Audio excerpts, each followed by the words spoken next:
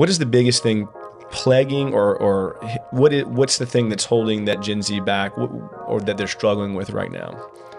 I just think that um, there's almost too many options that mm-hmm. the world's giving them mm-hmm. to the point where they're confused out their mind and they need direction. Yeah. They need direction. They're craving direction. They're craving it from their parents mainly. Um, just kind of like you, can say whatever you want. You can be whatever you want. You can do whatever you want. You can love whoever you want. And it's very like you're trying to shape your own identity at 11 and you have a million options and it's confusing and you feel lost and so i think um, one thing is they they want a clear path what is right what is wrong yeah. and like i i'm work a parent needs to make that for them.